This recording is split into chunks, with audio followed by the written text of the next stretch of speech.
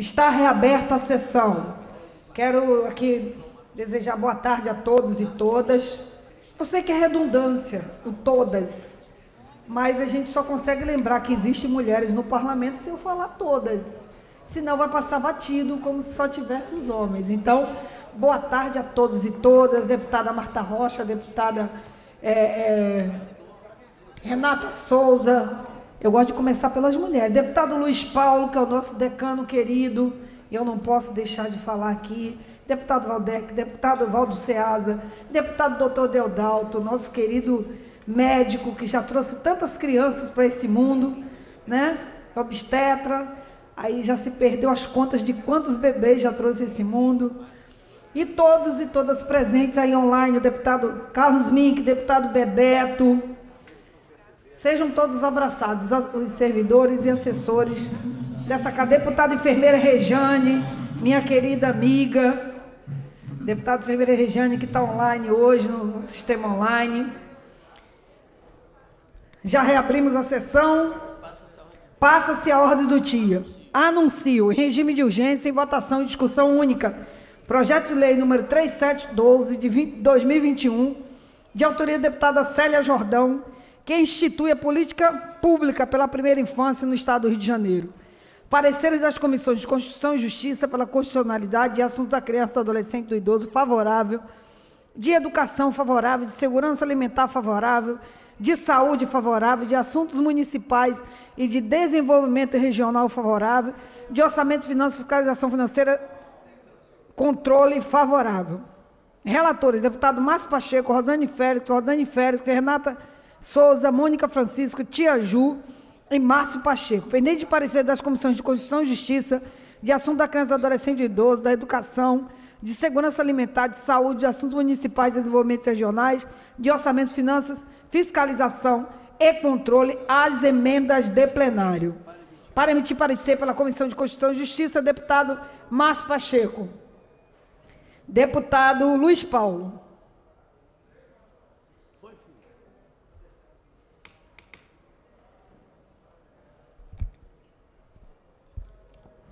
Senhora presidente, deputado relator Márcio Pacheco está a caminho e me designou como membro da CCJ para que eu lesse aqui o parecer. Projeto de Lei 3712 de 21, de autoria da deputada Célia Jordão, que institui a política pública pela primeira infância no Estado do Rio de Janeiro. O parecer da CCJ às emendas de plenário é favorável às emendas 2, 3, 4, 11, 13, 14, 15, 22, 25 e 30 favorável com subemenda aglutinativa às emendas 6 e 10.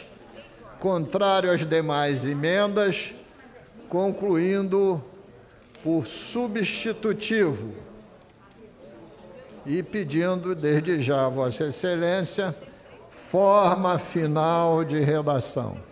A presidência defere o pedido de Vossa Excelência para emitir parecer pela Comissão de Assuntos da Criança, Adolescente e do Idoso, deputado Rosane Félix, deputado Wellington José, deputado Daniel Liberon, deputada Alana Passos, deputada Alana Passos, para emitir parecer pela Comissão da Criança, Adolescente e Idoso. Boa tarde, presidente. Meu parecer é favorável.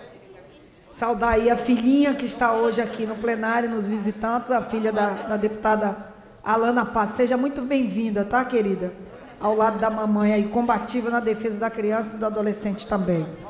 Para emitir parecer pela Comissão de Educação, deputado Flávio Serafini. Deputada, deputado Rubens Tempo.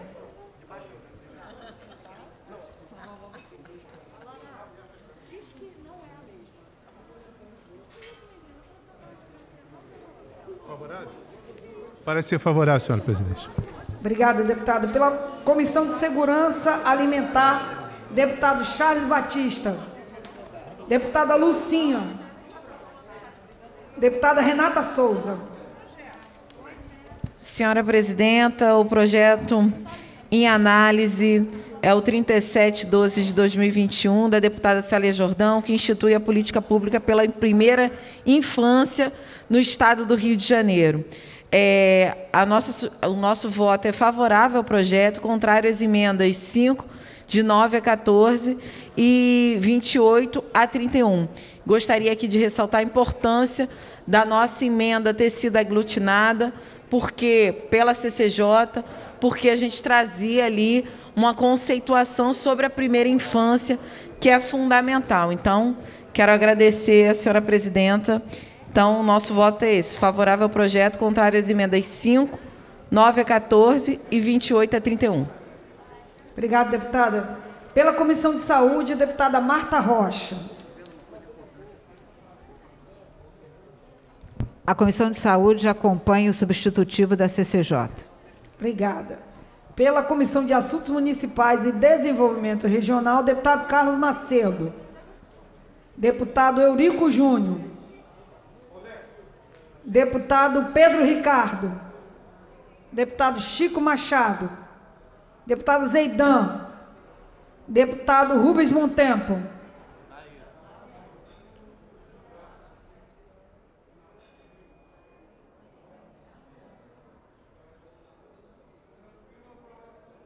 Favorável, senhora presidente.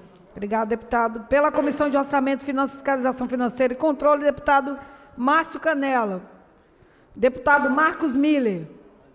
Márcio Pacheco, deputado Márcio Pacheco. Favorável, presidente. Com os pareceres emitidos, em, em votação, o substitutivo às emendas de plenário. Os senhores que aprovam permanecem como estão. Aprovado, vai autógrafo. Questão de ordem, deputado. Questão de roda do deputado Valdec Carneiro. Queria pedir a Vossa Excelência a gentileza de transferir o segundo item da pauta de hoje para que seja o último item da pauta, para a gente ganhar alguns minutos na negociação aqui. O segundo item é um projeto nosso, ele pode ser o último da, da, dessa pauta, por favor. O, vou submeter aqui ao parlamento. Se todos do, do parlamento concordar, senhores aprovam, senhores e senhoras. Ok. Aprovado será o último, o último da pauta. Anuncio. Em tramitação ordinária, primeira discussão, projeto de lei número 3669-2017, de autoria do deputado Átila Nunes, que dispõe sobre o transporte interhospitalar e intermunicipal de pacientes graves e com risco de morte no estado do Rio de Janeiro e da outras providências.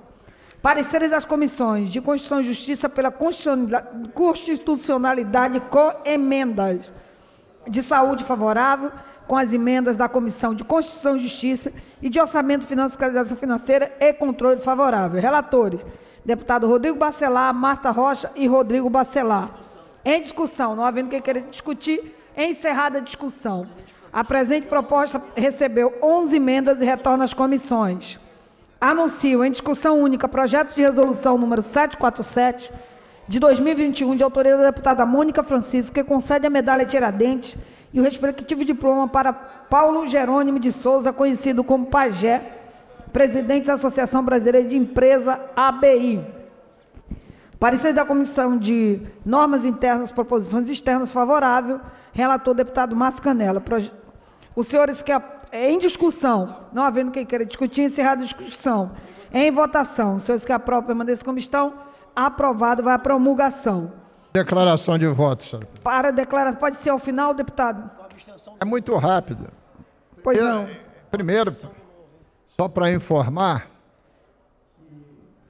Pajé, o Pajé, o Pajé, Pajé, não é Pajé é de- de uma trilha. figura ilustre da área de comunicação da nossa sociedade, um democrata, um lutador pelos direitos humanos e do cidadão, que teve conosco mais recentemente no Palanque, em frente à Câmara de Vereadores, né, nos movimentos que marcaram a luta pela democracia, recentemente em contrapartida àquela manifestação triste do 7 de setembro. Então, estou só assinalando, era muito rápido. Grande, grande homenagem quem recebe o pajé. Obrigada, deputado. Anuncio o projeto de resolução 756 de 2021, de autoria da deputada Renata Souza, que concede o prêmio Dandara a Tereza Cristina. Parecer da Comissão de Normas Internas e Proposições Externas favorável. Relator, deputado Chico Machado. Para em discussão. Não havendo quem queira discutir, encerrada a discussão, em votação. Os senhores que aprovam permaneçam como estão. Aprovado, vai a promulgação. Declaração de voto, senhora Para presidente. declaração de voto, tanto o projeto anterior, o 747 e o 756, registrado extensão do novo. Como eu concedi declaração de voto, só peço que Vossa Excelência seja breve. Eu tinha, havia concedido para o deputado Luiz Paulo, por gentileza. Muito obrigada, senhora presidenta. É com muito orgulho que a gente homenageia com o prêmio Dandara a cantora e compositora Tereza Cristina. Tereza Cristina, que é cria da Vila da Penha, que construiu toda a sua trajetória também no subúrbio carioca, transformando também o, o, espaço do samba dos, das rodas de samba de fundo de quintal em espaços mais democráticos com mulheres. Então, nesse sentido, é uma honra essa casa homenagear uma figura como Tereza Cristina e trazer também que nesse momento de pandemia, senhora presidenta, Tereza Cristina fez diversas lives. Era cotidianamente as lives de Tereza Cristina nas redes sociais e eu disse para Tereza que as lives dela eram momentos de cura, de cura coletiva, porque ali nas lives a gente ria, a gente chorava, a gente contava histórias interessantes. Criou-se um grupo chamado Cristineres, que é um grupo de mulheres e homens que são fãs de Tereza Cristina e que acompanham ela a cada live, a cada show, enfim, nesse retorno dramático, em especial da área da cultura é fundamental que celebremos a vida de mulheres. E o prêmio Dandara diz respeito exatamente a mulheres negras. Então essa mulheres negras. Então essa casa faz justiça no Novembro Negro em premiar a Tereza Cristina com o prêmio Dandara. Muito obrigada, senhora presidenta. Fico feliz é, por ver mulheres negras sendo homenageadas. Esse prêmio foi instituído pela minha pessoa para exatamente a gente fazer valer e dar visibilidade a essas mulheres tão importantes da nossa sociedade. Parabéns. Em, anuncio em tramitação ordinária em votação em primeira discussão o projeto de lei número 3821 de 2021, de autoria da deputada Marta Rocha, que dispõe sobre a criação do programa de telemedicina para mulheres gestantes no âmbito do Estado do Rio de Janeiro, no período de pandemia do Covid-19. Pareceres das comissões de Constituição e Justiça pela legalidade, co-emendas de defesa dos direitos da mulher favorável, de saúde favorável, de ciência e tecnologia favorável, de orçamento, finanças, fiscalização financeira e controle favorável. Relatores, deputados Rosenberg Reis, Renata Souza, Rosen, Rosenberg Reis, Valdec Carneiro e Márcio Canela. Pendente de parecer das comissões de Constituição e Justiça, de defesa dos direitos da mulher, de saúde, de ciência e tecnologia, de orçamento, finanças, fiscalização financeira e controle, as emendas de plenário. Para emitir parecer pela Comissão de Constituição e Justiça, deputado Márcio Pacheco. Deputado Márcio Pacheco.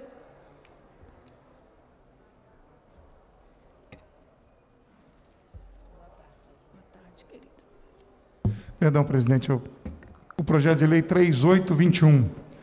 Isso. Deputada Mata Rocha. O parecer é favorável com subemenda à emenda 1, favorável com subemenda aglutinativas emendas 2 e 3, favorável com subemenda aglutinativas emendas 4 e 5, contrárias demais emendas, concluindo o substitutivo.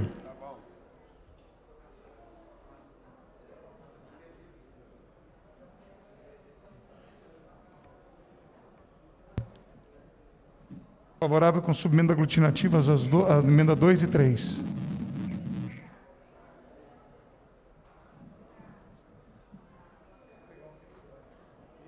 Só um momento, presidente.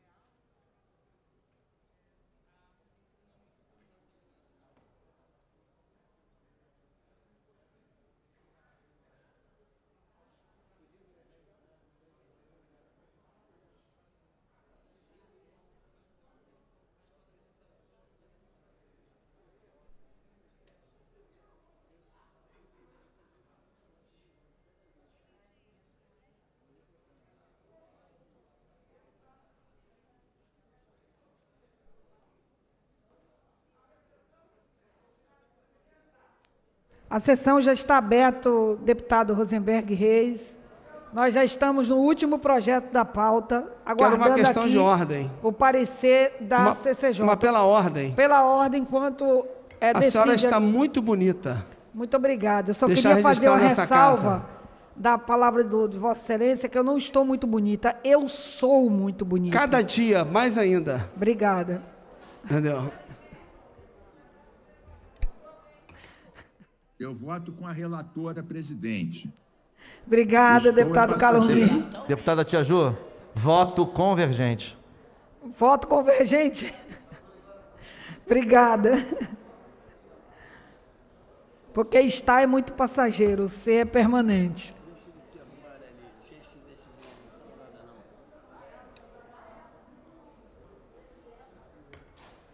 Se algum.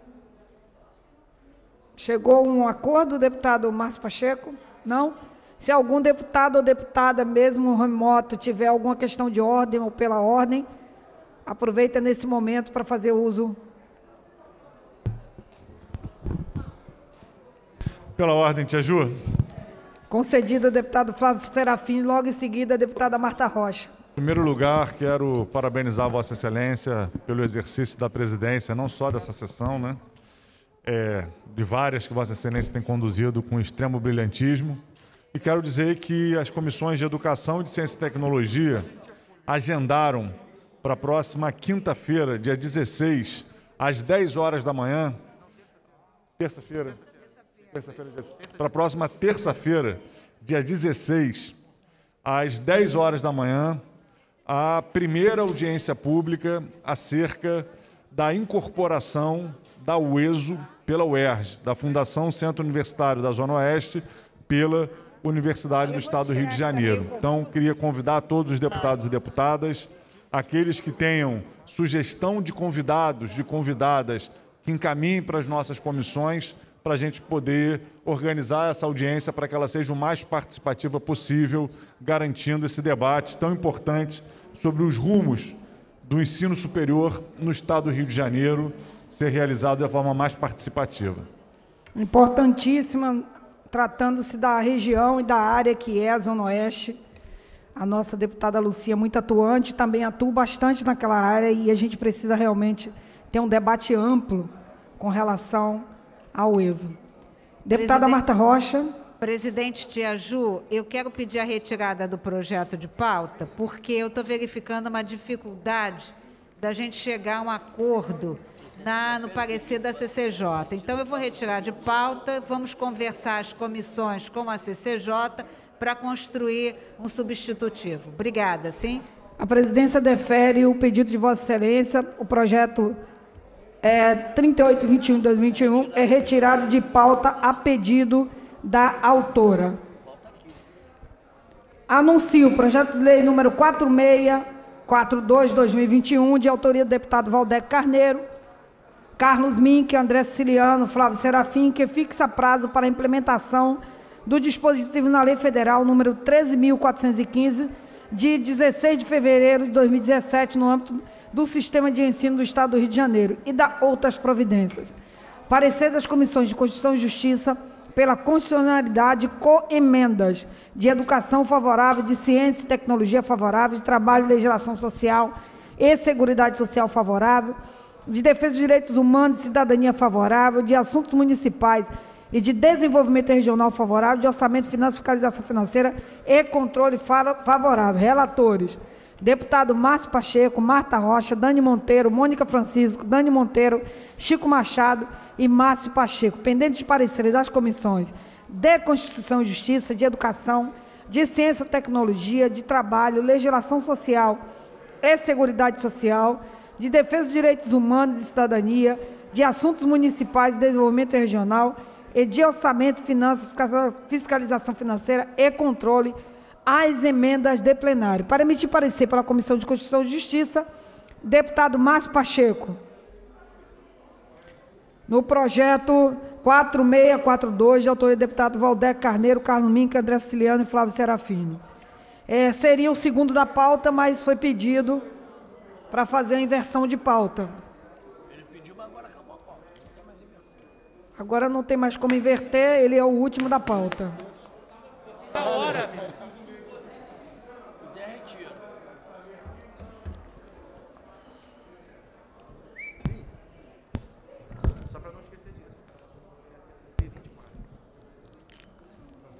Senhor presidente, depois de um, um, um amplo diálogo de consenso com os autores, passo a ler então o parecer. Há uma correção de texto, deputada Tia Ju, presidente, que ainda será feito no artigo 1 que é, eu quero consignar aqui, até 2024. Eu quero que seja consignada a minha fala. Há uma correçãozinha de texto a ser feita ainda no artigo 1 que dirá aonde está escrito o ano é até 2024. Então passo a ler. Favorável à emenda 19, favorável com subemenda aglutinativa as emendas 1, 2, 3, 10, 11, 13, 16 e 17. Favorável com subemenda aglutinativa as emendas 6 e 12. Favorável com subemenda aglutinativa as emendas 8 e 18. Prejudicada a emenda 3 pela aprovação com subemenda aglutinativa da emenda 6 emenda 7 e 15, pela aprovação com subemenda aglutinativa da emenda 1, contrária às demais emendas, concluindo por substitutivo e pedindo forma final de redação por estar em discussão única. Pela Comissão de Educação, deputado Flávio Serafini. É, ele é autor, mas é, é substitutivo. Ele pode pode dar parecer, porque é só as emendas de plenário substitutivo da CCJ. Deputada Tia Ju, é, como é substitutivo, eu mesmo sendo autor do projeto posso dar parecer. É, esse é um projeto que é, temos dedicado muito esforço, muitas horas de trabalho e reflexão a ele. Eu, junto com o deputado Valdec Carneiro, deputado Carlos Mink, o presidente dessa casa, André Siciliano, também, evidentemente que a nossa educação passa por uma série de problemas e a gente precisa pensar como melhorá-la.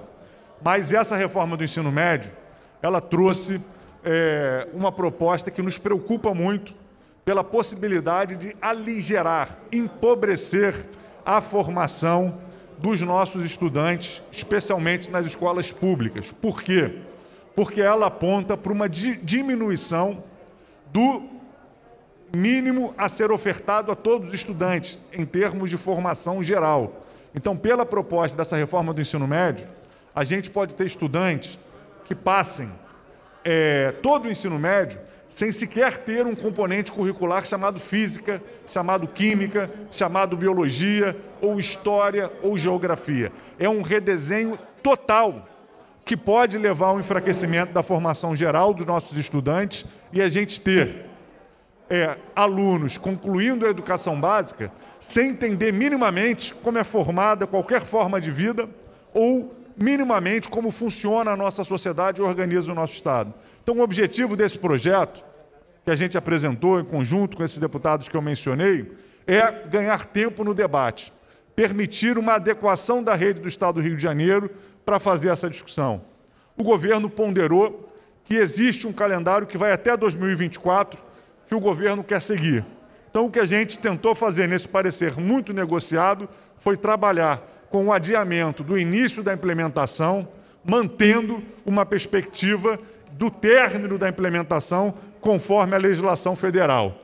A gente entende que com isso se ganha espaço para o debate, que o ano de 2022 seja um ano de discussão, para que o Estado do Rio de Janeiro, de uma forma cuidadosa, organize o seu sistema estadual de ensino, para garantir o direito dos estudantes a ter uma educação de qualidade. A gente não consegue ter educação de qualidade sem envolver a comunidade escolar e sem debate. Por isso, com muito esforço de diálogo, mais uma vez com a participação aqui do líder do governo, deputado Márcio Pacheco, se chegou a esse substitutivo e o parecer da Comissão de Educação é acompanhando o substitutivo da CCJ. Para emitir parecer pela Comissão de Ciência e Tecnologia, Deputado Valdec Carneiro. Deputada Tia Ju, antes eu quero agradecer por ter alterado a sequência da pauta da ordem do dia, o que nos permitiu é, concluir o acordo sobre o texto. Eu quero agradecer ao deputado Márcio Pacheco, líder do governo, e a sua assessoria na CCJ, a Milena Peixoto em particular, porque conseguimos produzir um texto a partir, a partir de um conjunto de emendas. Não é? Foi necessário, foi necessário, digamos assim, torear as emendas e, sobretudo, por um lado, a nossa preocupação em evitar que a reforma do ensino médio no Rio de Janeiro seja feita a toque de caixa e, ao mesmo tempo, ponderar os argumentos de quem está governando, de quem está exercendo nesse momento a gestão da, da, da pasta é, da educação. A preocupação grande, deputada Tia Ju, é que não haja um efetivo debate, uma efetiva concertação com os segmentos que integram a comunidade educacional né, do Rio de Janeiro. Isso envolve quem? Isso envolve os profissionais da educação, isso envolve os diretores de escolas, isso envolve os estudantes, isso envolve as representações das escolas particulares, as entidades representativas de cada um desses segmentos, que trata-se de uma decisão muito complexa, muito séria. Nós estamos falando aqui do currículo que vai organizar a formação de adolescentes e jovens na faixa de 15, 16, 17, 18 anos, uma faixa etária muito sensível. É o momento da consolidação de valores, do florescimento de vocações, não é? No Rio de Janeiro, que é um estado em que existe muita agressão contra a juventude negra, periférica, favelada, mata-se muito jovem negro e pobre e favelado no Rio de Janeiro, e, portanto, a alternativa da escola tem que ser uma alternativa de alto nível, altruísta, e, portanto, a nossa preocupação é, por um lado, não ter diálogo, por outro lado, é ter uma redução drástica no conteúdo da formação desses adolescentes, desses jovens no ensino médio, e também a nossa preocupação de garantir o papel, como prevê a legislação estadual, o papel do Conselho Estadual de Educação, que é o órgão normativo do Sistema Estadual de Ensino do Rio de Janeiro, e, portanto, o projeto cuidou dessas, dessas, dessas preocupações. Produzimos um texto, um texto avançado, eu acho, garantindo que o ano de 2022 seja, sobretudo, um ano de aprofundamento da discussão sobre esse tema, e a gente poderá, a partir daí, é, gradualmente implementar essa reforma.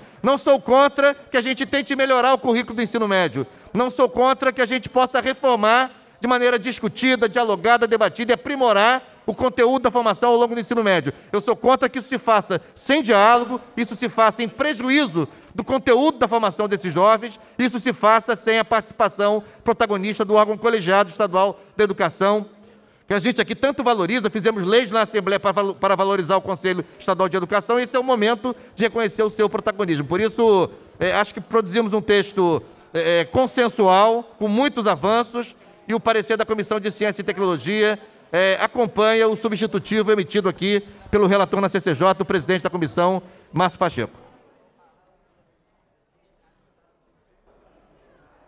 Pela Comissão de Trabalho, Legislação Social e Seguridade Social, deputada Mônica Francisco. Obrigada, presidenta. Parabéns mais uma vez por vê-la aí sentada. Tia Ju nos representa muito, mulher negra, poderosa. Muito bom tê-la presidindo a sessão nesse dia, nessa tarde. Projeto importante, acho que as é, questões trazidas aqui pelos deputados que me antecederam, deputado Flávio, deputado Valdec, são muito importantes nesse contexto em que a gente tem um processo é, muito forte né, de impacto na área da educação já anterior à pandemia, mas a pandemia agrava mais ainda. A gente não podia deixar de trazer aqui esse tema, é um tema complexo, sensível e quero parabenizar os autores pela iniciativa. A meu ver, as emendas de número 1, 2 e 3 aprimoram a redação do projeto, razão pela qual a comissão é, de trabalho acolhe essas emendas. De modo diverso, as emendas de número 4 a 19 modificam o projeto para torná-lo autorizativo. A meu ver, isso é, é um problema, suprimindo dispositivos e modificando-os para retirar os prazos previstos e determinando a regulamentação da lei considerando ser o projeto extremamente meritório. As citadas emendas acabam prejudicando os objetivos do projeto, razão pela qual as rejeito. Isso posto, meu parecer ao projeto de lei número 4642 de 2021, é favorável às emendas de número 1, 2 e 3 e contrário às demais emendas. Pela Comissão de Defesa dos Direitos Humanos e Cidadania, deputada Dani Monteiro. É, obrigada, deputada Tia Ju. Bom vê-la sentada nessa cadeira sempre. A rotatividade aqui no espaço da presidência é também importante. É, primeiro, saudar né, os autores Valdec, Carlos Mink, Siciliano e Flávio pela sensibilidade do projeto e o quanto que ele está antenado à conjuntura que vivemos. Né? É bem verdade que há uma reforma do ensino médio aprovada e prevista no âmbito nacional e que ela precisa ser estadualizada. No entanto, também a estadualização dessa reforma ela precisa ser feita a partir das especificidades dessa regional, né, desse ente federativo. E o nosso Estado não vive qualquer momento. É, o momento do regime de recuperação fiscal impõe mudanças estruturais severas na pasta da educação. Algo que já vinha sendo notado ao longo dos anos pelo fechamento de turmas, turnos e escolas inteiras, foi ainda mais agravado com a aprovação do regime, onde há descontos previdenciários maiores, congelamento da progressão dos servidores, há também né, a ausência de concursos públicos, bem como o atraso do pagamento dos inativos. É, Nesse sentido, a própria SEDUC, né, Secretaria Estadual de Educação, a partir da resolução 5946, ela prevê a implementação da reforma do ensino médio aqui no nosso estado. Mas a própria SEDUC fez um reconhecimento do processo de evasão escolar oriundo da pandemia. É, há uma estimativa que apenas 60% dos discentes conseguiram algum acesso, algum nível de acompanhamento no regime remoto. Ainda assim, como dizer que houve quórum, né, que houve debate qualificado nas instituições de ensino, se justamente não houve a participação sequer no que é mais é, estrutural da escola, que são as aulas em si. Como refletir sobre a reforma se os estudantes nem conseguiram acessar as aulas? É uma mudança muito séria e ela tem que ser feita com o tempo e com a democracia, né, com a participação que é pedido. Inclusive, o que é previsto na nossa Constituição, a gestão democrática e ampliada das escolas, de, é, não só de ensino médio, mas das escolas públicas no geral. Bem como a própria portaria do MEC de 2018, que prevê o programa de apoio do novo ensino médio, ou seja, uma construção de uma parceria perpetuada. Então, acredito que o projeto ele está em consonância com a nossa legislação, a nossa Constituição, as portarias do MEC. É, e justamente por isso, algumas emendas, deputada Tia Ju, elas melhoram e aperfeiçoam o projeto, mas algumas outras emendas não. Acredito que o parecer da CCJ, o acordo construído, ele sana bastante as proposições. Tinha aqui uma, um parecer próprio da CDH, mas farei o parecer acompanhando a CCJ e celebrando o acordo aqui constituído. E, claro, sempre me pautando e priorizando a atuação, da, pensando na educação como uma garantia de direitos humanos e pensando na educação pública de qualidade para todos e todas como uma porta de oportunização da nossa juventude.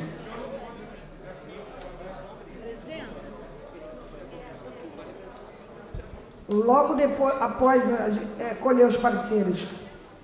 Pela Comissão de Assuntos Municipais e Desenvolvimento Regional, deputado Carlos Macedo, deputado Eurico Júnior, deputado Rubens Bom Tempo, deputado Rubens Bom Tempo, para emitir parecer pela Comissão de Assuntos Municipais. Acompanha a CCJ? Acompanha a CCJ, senhor presidente. Obrigada, deputada. Pela Comissão de Orçamento, Finanças, Fiscalização Financeira e Controle. Deputado Márcio Pacheco.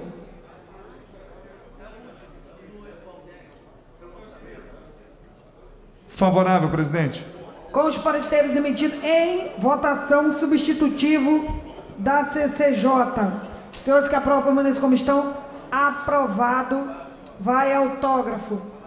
Para, para a declaração, presidente. Para a declaração de voto, deputado Carlos Mink, deputado Pobel pediu um, um, pela ordem, antes, porém, pela ordem do deputado Pobel, logo em seguida, declaração de voto do deputado Carlos Mink, deputada Mônica.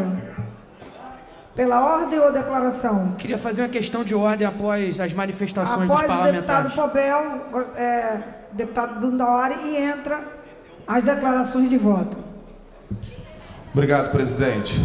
Presidente, desde o início do nosso mandato, eu venho pautando nas fiscalizações dos aparelhos públicos, principalmente quando trata-se de saúde. Saúde é vida e vida é o bem mais importante que nós temos. Última fiscalização que eu realizei foi na UPA de Santa Luzia, em São Gonçalo, essa semana, presidente.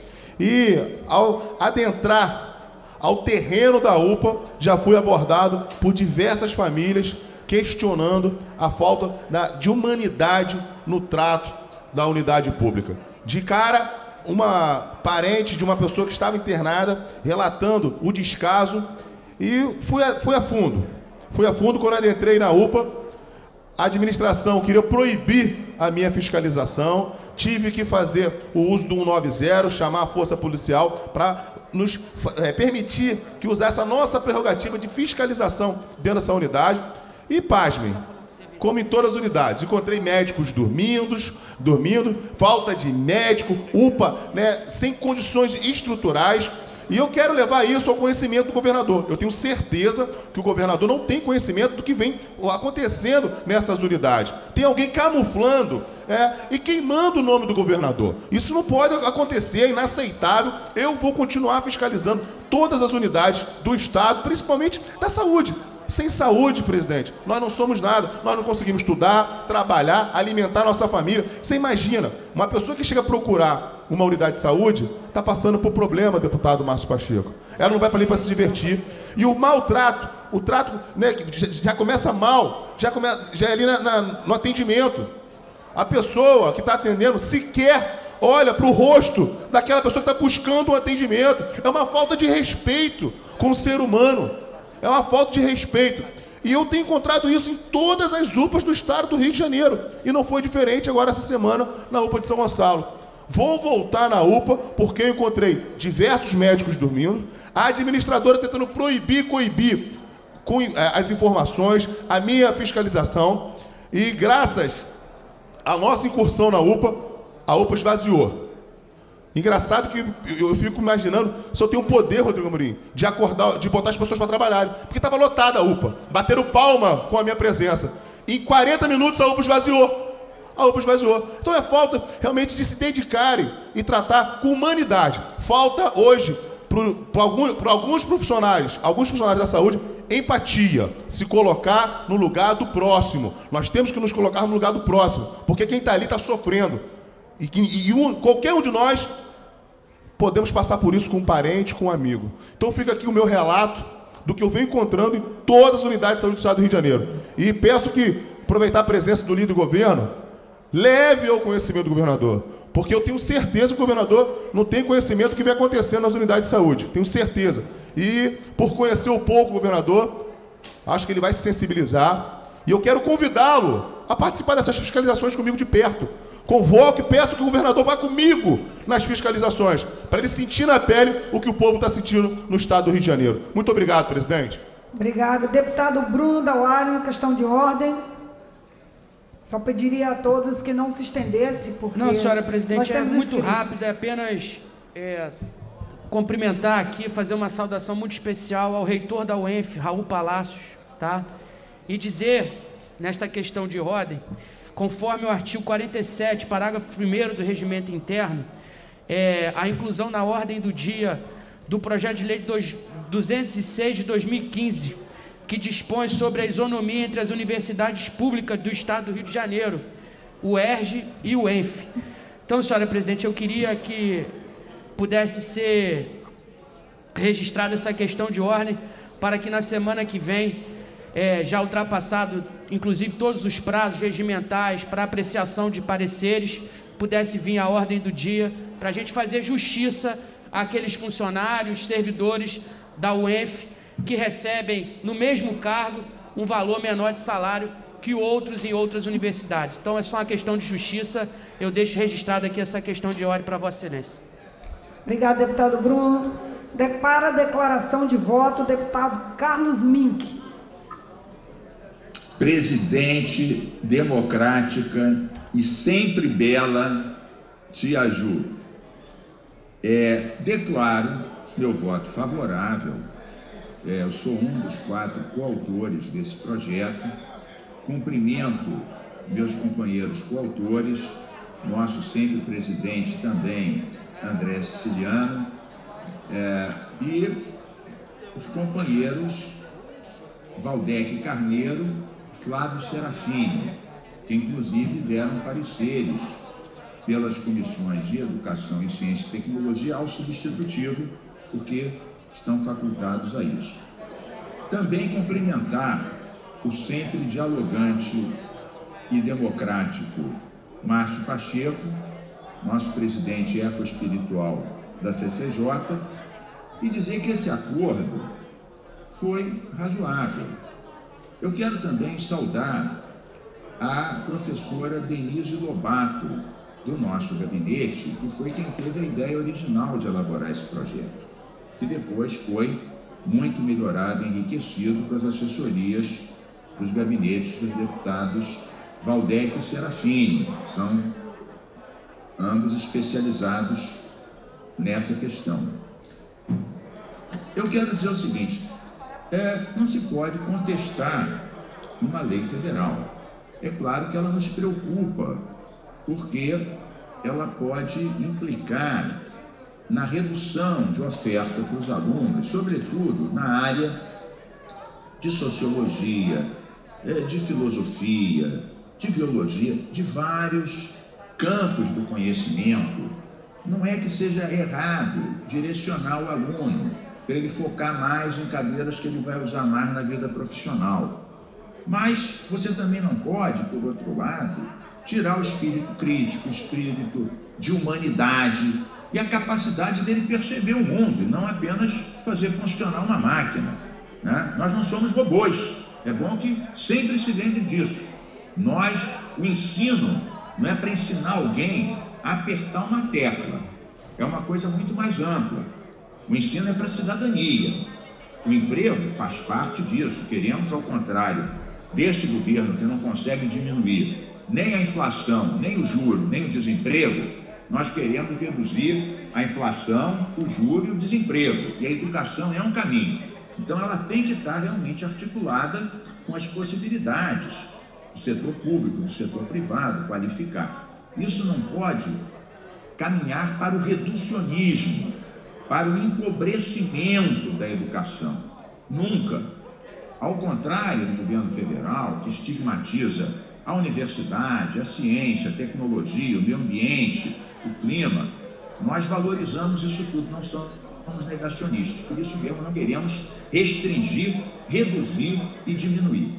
Havendo uma lei federal, a questão é o prazo de discussão, de elaboração, de adaptação. A lei federal prevê que os estados possam sim fazer adaptações a esta ideia geral que tem que ser aceita dentro do espírito de uma lei. O prazo muito curto atropelava essa autonomia. Como a deputada querida Dani Monteiro lembrou aqui, que preside a Comissão de Direitos Humanos, da qual eu tenho a honra de ser vice, a Dani foi ao ponto. Os alunos mal conseguem acessar o ensino. Tem atraso, aumentou a desigualdade, tem gente que praticamente perdeu. Como é que se imagina que nessa condição a, as escolas tenham participado de um debate, professores, funcionários, alunos, se a maioria sequer acessou ao ensino, quanto mais a discussão da reforma curricular do ensino. Portanto, saúde é, os autores, me incluo, o bom acordo, que foi o possível, lembro da professora Denise Lobato, e vamos em frente. Vamos em frente, não desumanizar nem empobrecer. Vamos cumprir a lei federal, mas adequando, discutindo e modificando conforme a Constituição determina. Obrigado a todos. Parabéns, tia, parabéns, tia Ju, nossa presidente democrática e uma grande defensora da liberdade religiosa e da luta contra todos os preconceitos. Obrigada, deputado Carlos Mink. Para a declaração de voto, a deputada Mônica Francisco. Obrigada, presidenta. Depois dessa ressalva aí de vo... Pensei que o deputado Valdo Seasa, ele anda implicando comigo, presidenta. Ele está me desafiando aqui, por conta do charme do funk. Depois eu conto para Vossa Excelência. Mas eu quero fazer minha declaração de voto, primeiro agradecendo a Casa pela aprovação de dois importantes projetos de resolução hoje. Um é o 756, de autoria da deputada Renata Souza, que premia com o prêmio Dandara a cantora e sambista Tereza Cristina, que há mais de duas décadas vem consolidando o lugar da mulher sambista no cenário da cultura nacional. E dizer o quanto foi importante nesse período pandêmico. E tenho certeza que o mandato da deputada e a deputada, né, com certeza, na sua justificativa, ressaltaram o serviço importante prestado pela cantora Tereza Cristina, essa mulher negra, cria do subúrbio carioca, é, em suas lives, né, que fizeram sucesso, que caíram na boca do povo e que garantiram a alegria e a sanidade mental de tanta gente nesse período tão duro de isolamento, né, de trabalho remoto e de medo de futuro. Então, quanto o samba, mais uma vez, fez o seu papel né, curativo, né, de, de, e, e ainda mais pelas mãos de Tereza Cristina. Então, parabenizar a casa pela aprovação e a deputada Renata Souza pela indicação da querida Tereza Cristina.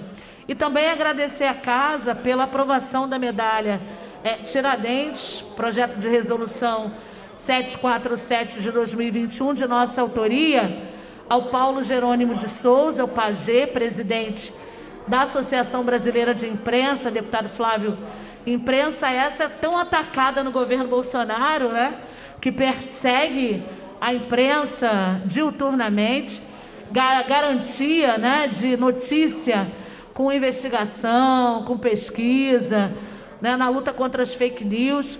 E o Paulo Jerônimo, mais conhecido como Pagê, né, há quase meio século vem cumprindo o papel de informar, de garantir a liberdade de imprensa nesse espaço tão simbólico para a luta da democracia no Brasil, mas sobretudo aqui no estado e na cidade, na capital do Rio de Janeiro, a Associação Brasileira de Imprensa, que foi palco de tantas lutas e tantas figuras que lutaram pelas diretas já, pela democracia e consolidação do Estado democrático de direito, do direito à informação no Brasil. Então, agradecer imensamente aos pares pela aprovação desse projeto de resolução. Muito obrigada. Declaração de voto, Tia Ju. Tem à frente Valdec, Adriana Baltazar, em seguida Vossa Excelência, deputada Marta Rocha, deputada Dama. Deputado Valdec Carneiro para declaração.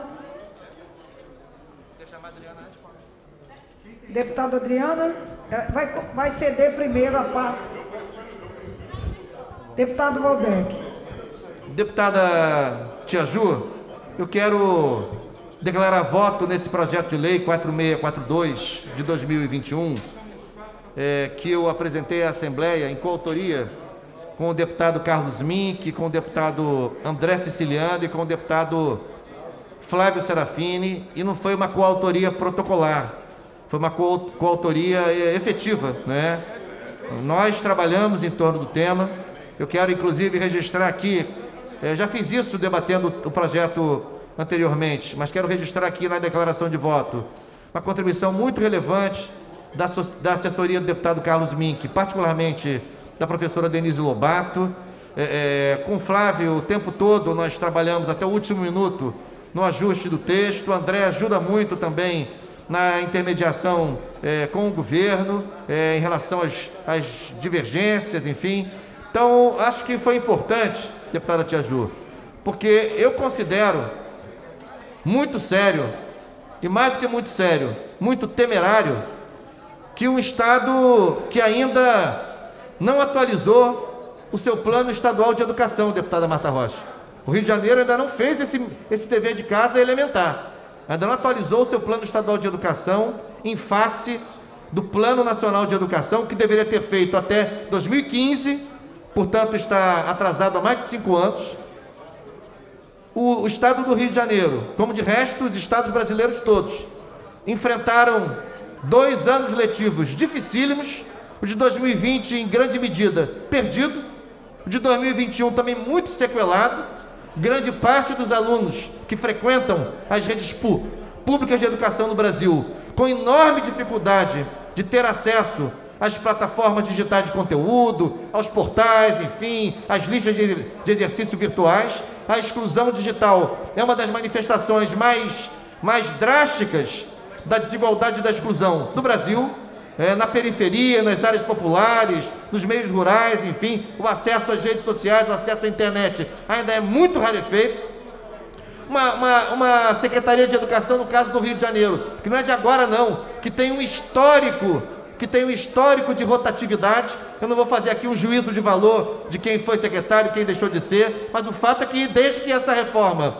virou lei em 2017, deputada Marta Rocha, portanto há quatro anos, já é o quarto secretário estadual de Educação. Então, isso também não ajuda em nada, né? A ter uma política, digamos assim, de longo prazo, estável, porque cada um que entra, e eu, de novo, aqui não estou fazendo juízo de valor sobre ninguém, mas cada um que entra, deputada Tia Ju, tem suas prioridades, tem o seu estilo, quer deixar aí suas marcas, oferece diretrizes diferentes. Então, não é simples, não é simples uma rede com mais de 1.200 escolas, né, com tanta oscilação na, na, gestão, na macrogestão educacional, com os problemas que a pandemia trouxe e que ainda se farão sentir por muito tempo ainda nas, nas, nas redes escolares só agora retornando e com dificuldades ainda.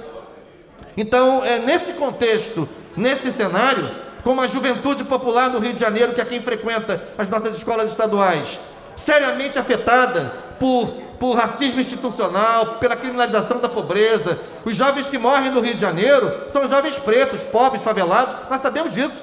Então, nesse cenário, me parece temerário que a gente possa implementar uma mudança curricular sem um aprofundamento do debate com os segmentos da comunidade educacional. Essa é a tônica do projeto. Ninguém aqui quer procrastinar por procrastinar. Não se trata disso. A gente quer garantir que essa reforma não seja um arremedo, que essa reforma do currículo do ensino médio possa abrir perspectivas novas para a juventude popular, em termos da sua formação geral, em termos da sua formação deontológica, em termos da sua formação profissional.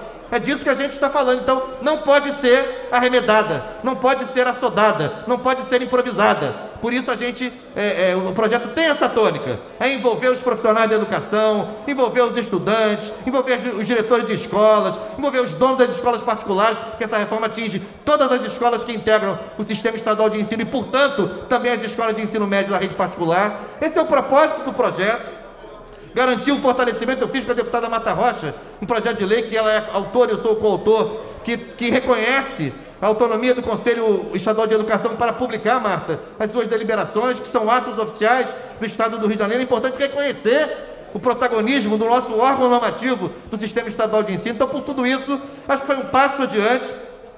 Infelizmente, aconteceu num dia, é, é, digamos assim, com uma notícia ruim, que foi o veto do governador ao projeto de lei apresentado aqui pelo deputado Sérgio Fernandes, ao qual vários de nós nos associamos.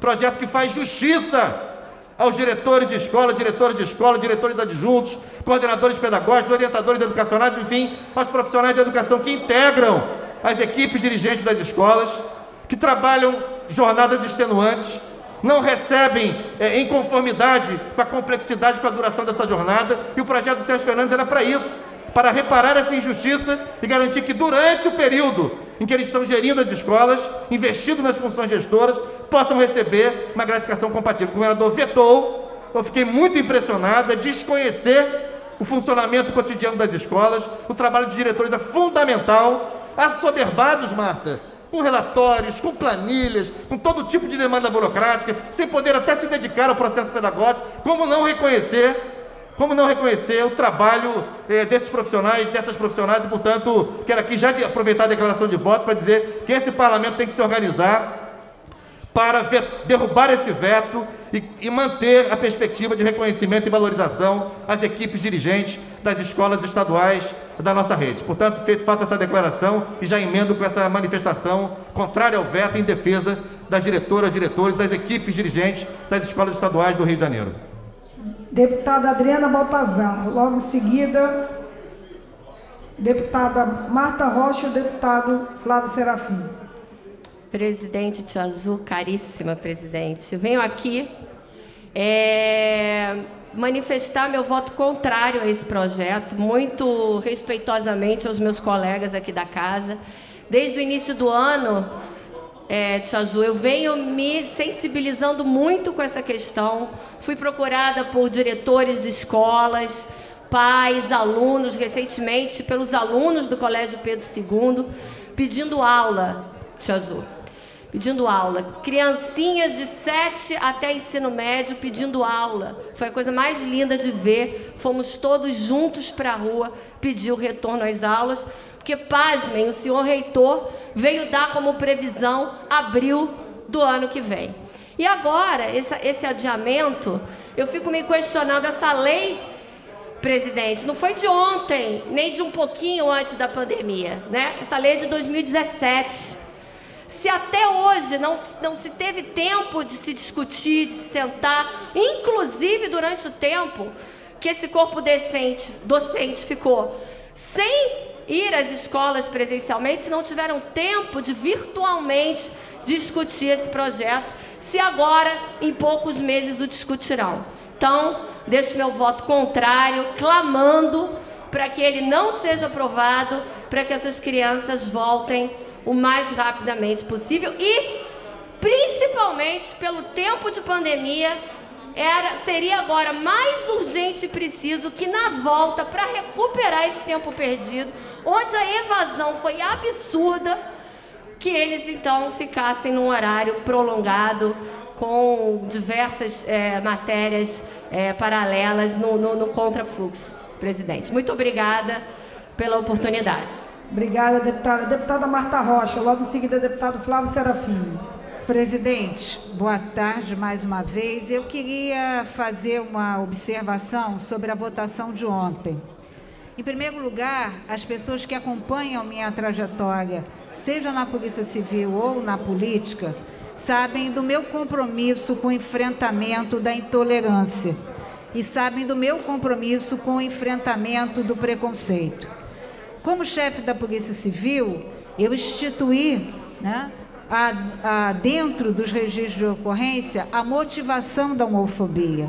Eu instituí a possibilidade do uso do nome social. Como deputada, seja na Comissão de Saúde ou em outras áreas de atuação, eu sempre estou discutindo e sendo solidária às questões ligadas à população LGBTQIA+ é da minha autoria, inclusive, a divulgação do dia da visibilidade do orgulho LGBTQIA. Houve uma solicitação nessa casa sobre um pedido de medalha e eu assinei sim essa solicitação. E ontem, porque entendo que a responsabilidade é da indicação de quem o faz, mas ontem, é, inadvertidamente, não atenta acolhendo ali algumas questões ligadas aos projetos de lei em debate, não me apercebi da votação do PL 758 de 2021, que concede a medalha Tiradentes ao senhor Siqueira Júnior. Então eu quero pedir que, primeiro, pedir desculpas à população LGBTQIA+, por não ter sido atenta a essa ao momento em que se deu essa, essa decisão quanto à concessão da medalha Tiradentes. Em segundo lugar, pedir a Vossa Excelência que consigne o meu voto contrário à concessão dessa medalha. Muito obrigada. Eu gostaria de pedir aí à, à mesa que consignasse o voto contrário com a votação de ontem da deputada Marta Rocha ao PL, a medalha do PL 4758. Pedir atenção aí que faça o registro. Deputado Flávio Serafini. Deputado Valdec. É, em função da, da dinâmica da ordem do dia de ontem, eu também acabei não me manifestando. Eu queria pedir a Vossa Excelência a gentileza de consignar também o meu voto contrário na linha da deputada Marta Rocha a esse projeto de resolução. Deputado Valdec Carneiro também, votação de ontem no, ao PL 4758, votação contrária. Pediria a mesa aí que Eu também, atento. presidenta. E Eu o também, deputado Carlos Mink, Carlos no, no mesmo sentido. No, No mesmo, mesmo sentido, sentido, deputado do Valdec Carlos e Marta. Rocha. Valdec, deputado Marta Rocha, deputado Carlos Mink. Deputado Flávio Serafim. Deputada Tia Ju, eu quero declarar o voto favorável ao projeto 4642, do qual eu sou um dos autores, junto com o deputado Valdec Carneiro, que tem sido aqui um parceiro de várias lutas a favor da educação no Estado do Rio de Janeiro, junto também dos deputados Carlos Mink e André Siciliano, também dois deputados com uma atuação muito forte na defesa da escola pública. É, esse projeto visa garantir debate, garantir a participação da comunidade escolar para definir parâmetros para a implantação do novo ensino médio no Estado do Rio de Janeiro. A proposta de mudança do ensino médio que está em curso hoje no Brasil, ela é fruto de uma medida provisória num governo que se estabeleceu no nosso país através de um golpe que foi o governo de Michel Temer. Nesse momento em que o Congresso Federal está discutindo uma PEC dos precatórios para o Bolsonaro poder alimentar emenda parlamentar clandestina, é importante a gente lembrar que o governo Temer foi fruto de um processo de golpe que tinha como justificativo uma suposta pedalada fiscal. Esse governo encaminhou uma medida provisória para o Congresso. Não foi um projeto de lei que garante tempo de debate, participação das comunidades escolares. Foi uma medida provisória. Essa medida provisória, num tempo mínimo, deu origem a uma proposta de reforma do ensino médio que é radical, que reduz ao mínimo a formação geral a ser garantida para todos os estudantes. E a educação básica, Tia Ju, ela se chama básica porque ela é considerada aquela etapa da educação que se considera que toda a população tem que ter direito para viver plenamente o mundo do trabalho com dignidade, o mundo da cidadania, para compreender a nossa diversidade cultural, para conseguir, de fato, exercer a sua cidadania. Quando você reduz a formação nessa etapa, você tem um impacto não só no mundo do trabalho, no mundo produtivo, mas em toda a esfera da vida do povo brasileiro. Então, uma reforma que foi concebida com pouco debate. E quando estava no meio do processo de implementação, a gente passou a enfrentar uma pandemia que mudou a história da humanidade. Os nossos estudantes estão há quase dois anos sem aulas presenciais, tanto na rede de ensino fundamental, quanto de ensino médio, quanto pública, quanto privada. As nossas escolas de ensino médio vão receber estudantes que ficaram praticamente dois anos sem ter aula presencial, fizeram o oitavo ano sem frequentar a escola, estão concluindo agora o nono ano, frequentando a escola só durante um mês.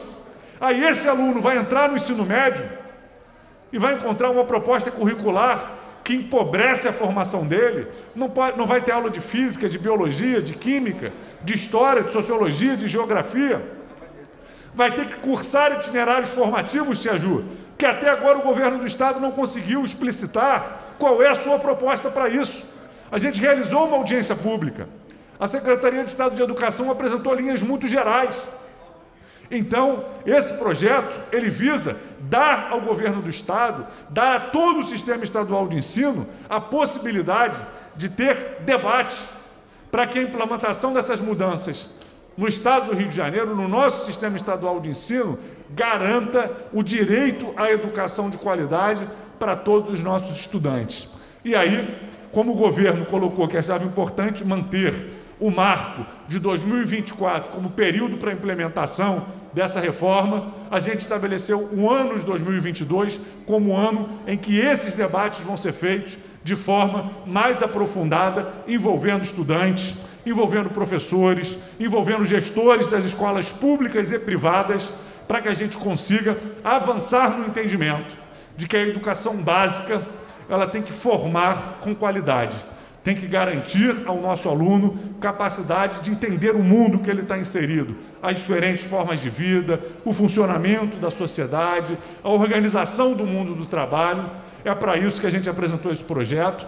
Ele não ficou com a redação que a gente considerava ideal, mas ele avança muito em garantir que o ano de 2022 vai ser um ano de debate para o sistema estadual de ensino enfrentar as mudanças no ensino médio, garantindo o direito a uma formação né, é, bastante cons consolidada para os nossos estudantes. É, nós temos a presença aqui de trabalhadores, mas a, a faixa de vocês ficou bem em cima assim, do refletor, não consigo nem anunciar. Mas eu queria saudá-los aí Deputados, derrube o veto, mas eu não consigo ver o projeto ali embaixo. Do PL 3211. Anunciei já. Estava incomodada porque vocês estão aqui fazendo uso do espaço da Casa do Povo e eu não estava conseguindo ler aí é, qual era o PL. Eles pedem para derrubar o veto do PL 3211. Está aí a manifestação dos trabalhadores. Sejam muito bem-vindos a essa casa. Se vocês colocarem naquela lateral, fica melhor para os deputados aqui presentes visualizarem, estarem acompanhando aí a manifestação, o ato e o pedido de vocês. Sejam bem-vindos à Casa do Povo. Para a declaração de voto, a deputada Dani Monteiro. Deputada Dani. Eu tinha visto a deputada Dani Monteiro aqui. Deputada Dani Monteiro para a declaração de voto. Nada mais havendo a tratar na ordem do dia, passa-se ao expediente final. Primeiro orador inscrito é o nobre deputado Luiz Paulo. Vossa Excelência dispõe de 10 minutos no tempo regimental.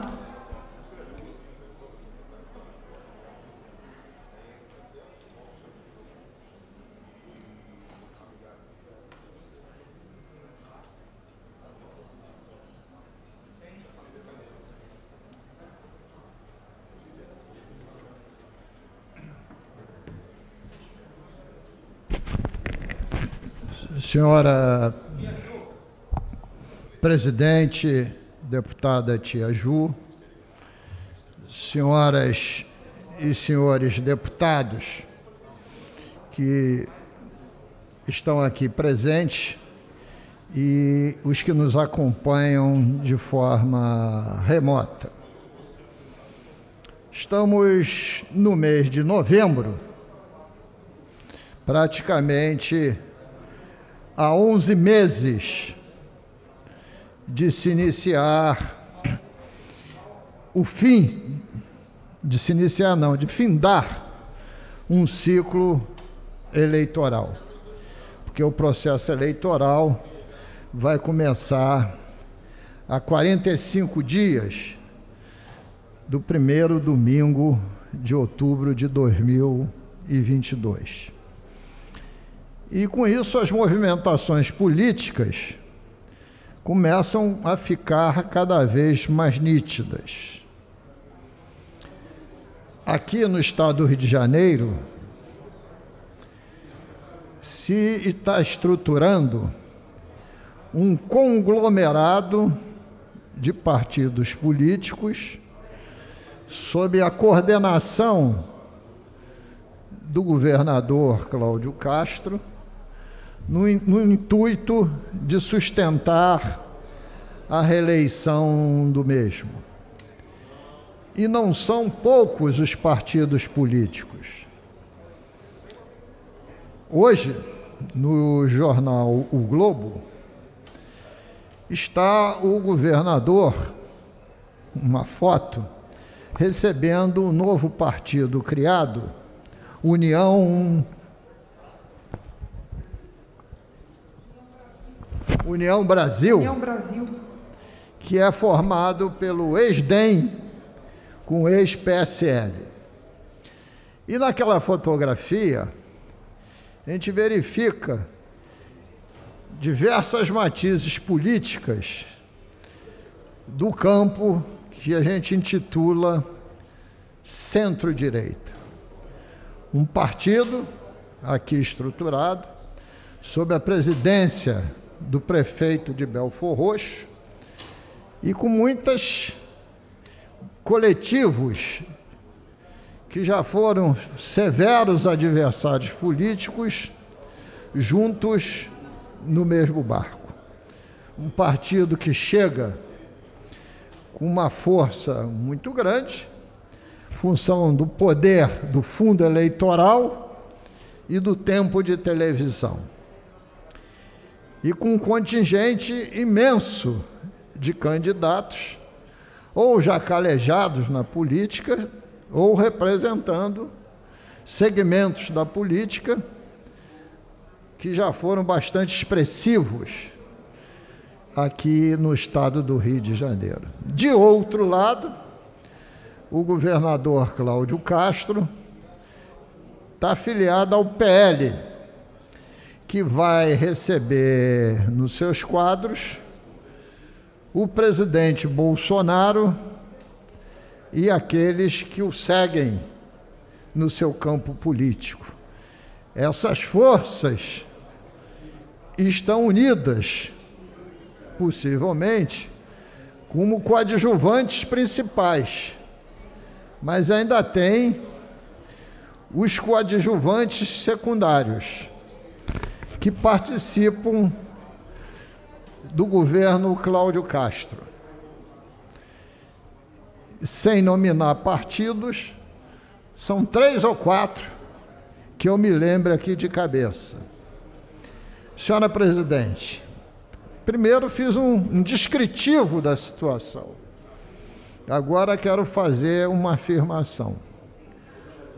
Um governador que assumiu no impeachment do titular tinha como ditar um novo ritmo, uma nova forma de fazer política no estado do Rio de Janeiro, mas optou pelo que o nosso povo chama de mais do mesmo.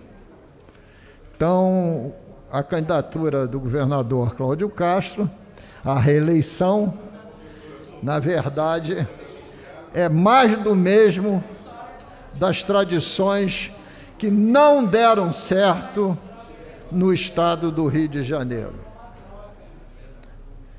Mas torna-se um candidato forte pela essa massa imensa de partidos políticos associado a tempos de televisão gigantescos e aos recursos do fundo partidários tão gigantescos também. Você vai analisar as outras candidaturas colocadas, temos pelo campo da centro-esquerda a candidatura do ex-prefeito de Niterói, pelo nosso PDT, Rodrigo Neves, e concomitantemente a candidatura do ex-deputado estadual, atual deputado federal, Marcelo Freixo, pelo PSB.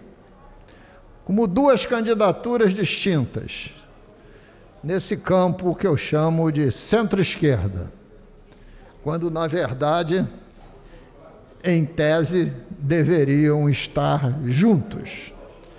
E de outro lado, o prefeito da cidade do Rio de Janeiro tem a candidatura, a pré-candidatura lançada do advogado Felipe Santa Cruz, pelo PSD, que apesar do PSD ser um partido de centro-direita, também considero o Felipe Santa Cruz um candidato de centro-esquerda.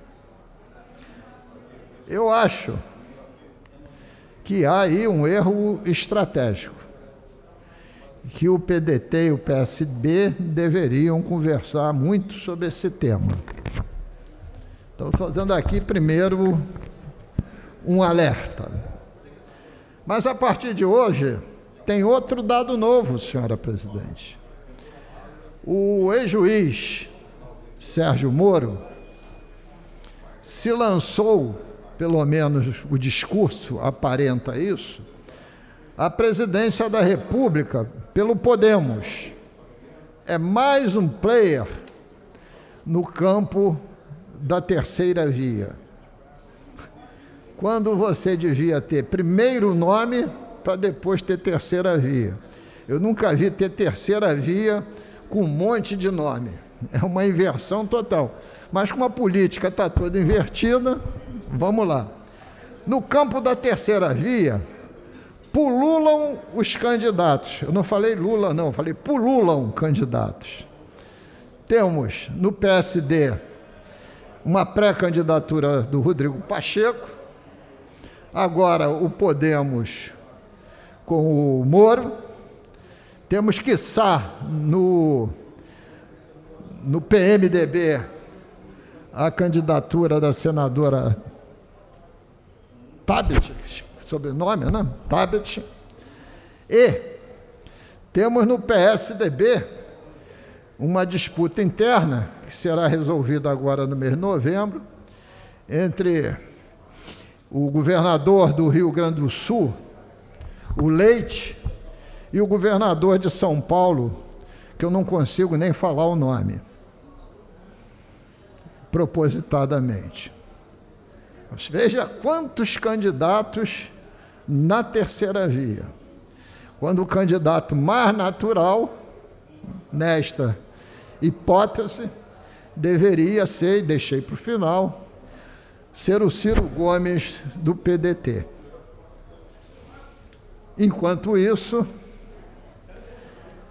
tanto o Bolsonaro quanto o Lula estão nadando de braçada para chegarem num segundo turno.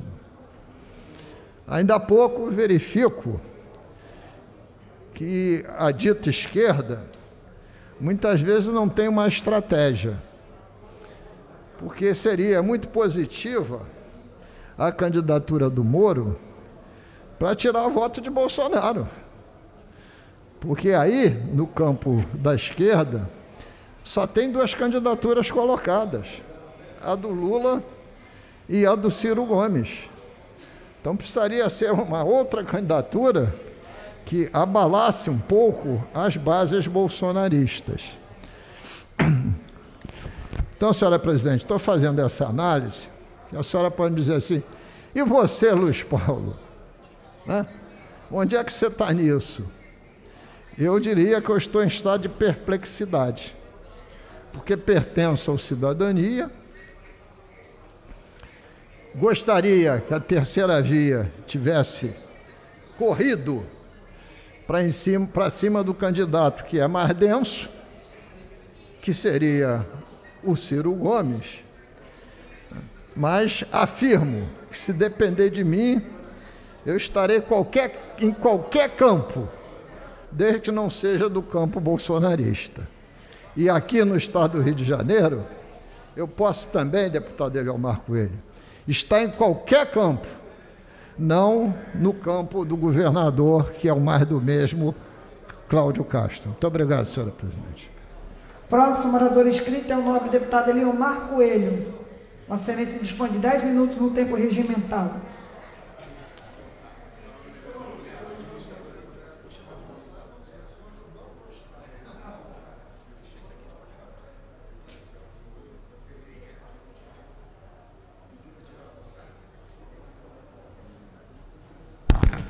Nobre deputada Tia Ju, que preside os trabalhos desta sessão. Senhoras deputadas presentes, senhores deputados presentes, funcionários, imprensa, companheiros e companheiras que ocupam as dependências da galeria, aqueles que nos assistem pela TV Alege, e aqueles que nos acompanham pelas redes sociais. Hoje de manhã, recebi no meu gabinete um grupo de servidores da cultura do Teatro Municipal. Eles solicitaram uma reunião com o mandato com a finalidade de apresentar o, algumas ocorrências lamentáveis que existem atualmente no Teatro Municipal. Começa, inclusive, que os três corpos artísticos do Municipal orquestra, coro e corpo de baile, todos eles muito desfalcados, onde torna quase que impossível daqui a pouco as apresentações por falta dos profissionais, tanto do grupo de bailarinos, como do coro, como da orquestra. Fora os problemas de natureza material, que garantidores material, garantidor do funcionamento pleno da Fundação Teatro Municipal do Rio de Janeiro. Então, conversamos depois de ouvir o relato é, dos fazedores de cultura, né, dos homens de da arte que trabalham no municipal, nós chegamos à conclusão, primeiro, não é de agora, há bastante tempo que o governo do estado do Rio de Janeiro tem atuado de forma a eliminar as fundações existentes no estado do Rio de Janeiro. A Fundação Teatro Municipal é uma delas, onde a gente nota que os problemas que são apontados não são de hoje, de muito tempo, e que há muito tempo eles vêm se agravando no dia a dia. O que significa que cada vez mais torna-se mais difícil, pelo aumento do volume de problemas apresentados, que o correspondente aumento dos recursos que devam ser aportados exatamente para se fazer a verdadeira recuperação necessária e exigida para você ter pleno as condições de funcionamento do Teatro Municipal. Então, essa questão começa pelas fundações. O governo já enviou para esta casa, e que nós rejeitamos, e que foi até retirado, exatamente no sentido de acabar com fundações. E a gente sabe perfeitamente se você quer realmente sucatear uma determinada atividade que é exercida por uma determinada fundação, a primeira coisa que você faz é começar a cortar os recursos que são destinados para aquela fundação. Vai cortando, cortando, e aí, é claro, entra num processo de sucateamento e de inanição você mata exatamente a fundação. Parece que esta é está sendo a estratégia adotada pelo governo em relação à sua atividade sobre a existência das fundações.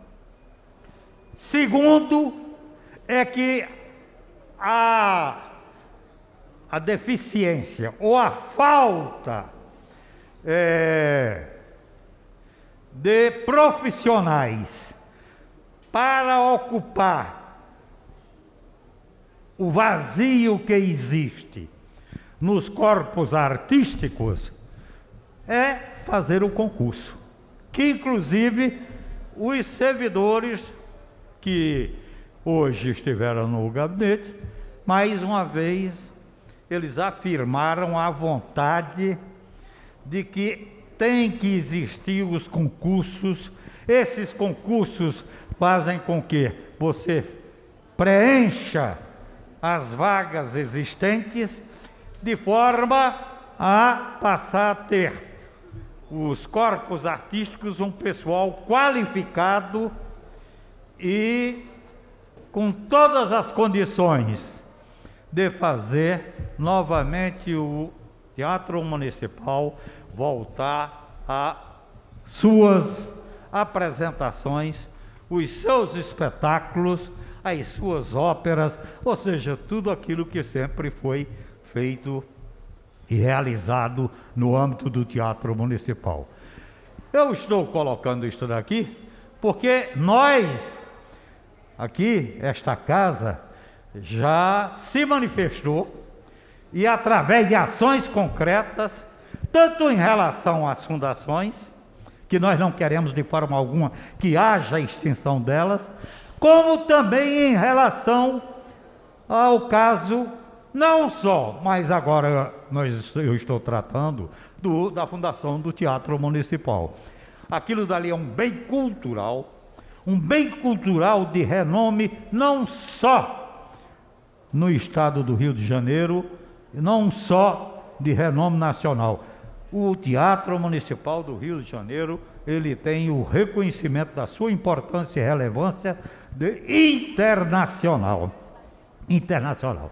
Inclusive, por exemplo, em relação ao corpo de eh, baile do Teatro Municipal, ele chega às vezes até a fornecer bailarinos para outros teatros em outros países aqui vizinhos nossos, entendeu? Então, o teatro municipal é isto, é um bem cultural que nós não, não temos o direito de abdicar da sua existência, e só não só da sua existência, da sua existência com todas as condições de atuar plenamente na apresentação dos seus espetáculos que têm sido memoráveis, elogiados por tudo e por todos.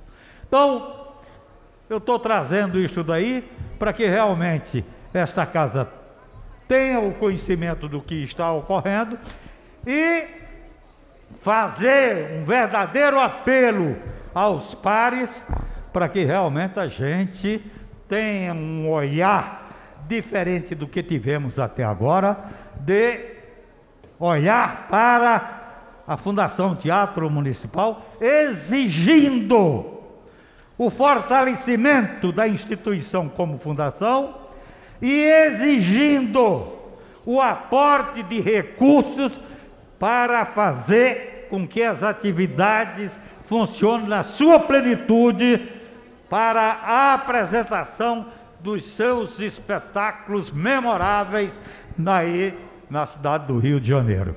Então, são essas as considerações que eu trago aqui e realmente gostaria de que isto fosse absorvido, entendido e abraçado como uma luta em favor da cultura do nosso Estado, todos nós tenhamos a obrigação e o dever de defender.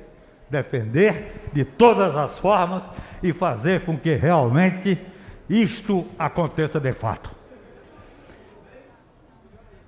Eram essas as considerações, nobre deputada Tia Ju, que preside os trabalhos desta sessão, que eu gostaria de fazer. Muito obrigado.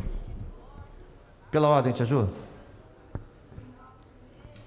Estamos no expediente final já. Sim, apenas para registrar, se Vossa Excelência me permitir, a presença aqui entre nós no plenário hoje do vereador Romário Regis, do PCdoB de São Gonçalo, primeiro mandato do vereador em São Gonçalo, já fazendo muita diferença no parlamento municipal daquele município, que é tão importante para o nosso estado. Então agradeço muito e saúdo a presença de Romário Regis, vereador do PCdoB de São Gonçalo aqui hoje. Seja muito bem-vindo a esta casa. É, agradecer ao deputado Eleomar Coelho, que cumpriu categoricamente seus 10 minutos. Estou colocando para marcar ali no painel. Próxima oradora escrita é a nobre deputada Adriana Baltazar, não se fazendo presente. Próxima oradora escrita é a nobre deputada Alana Passos. Vossa Excelência dispõe de 10 minutos no tempo regimental.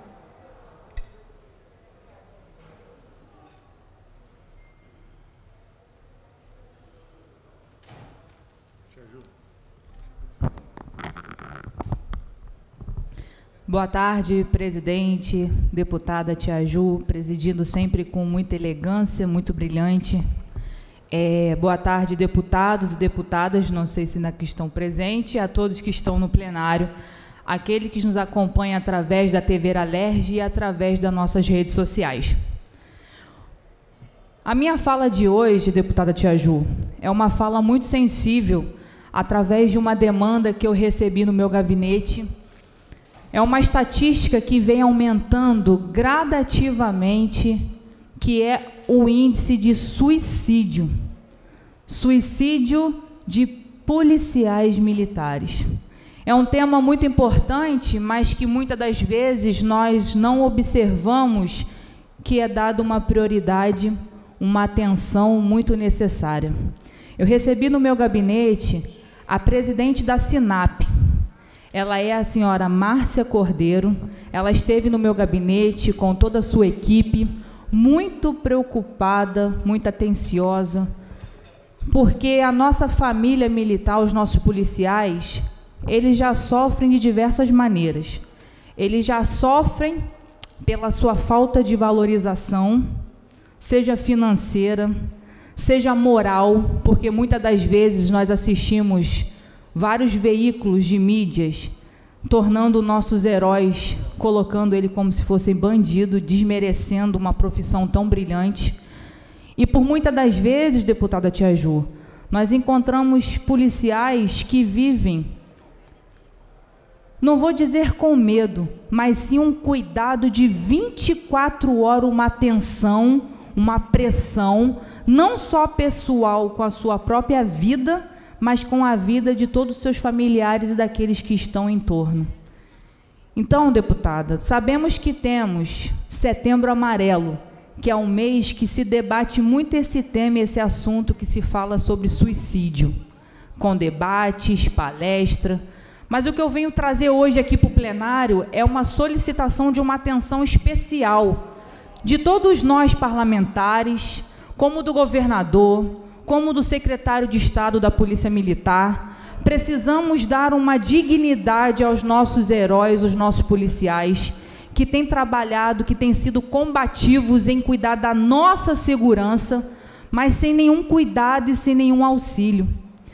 Eles pagam, que são descontados em seu contra-cheque, um fundo especial da Polícia Militar, o FUNESPOM, aonde muitas das vezes nós recebemos denúncias de uma péssima qualidade do hospital da Polícia Militar, que já é um absurdo um policial não ter nem o seu tratamento de saúde com dignidade.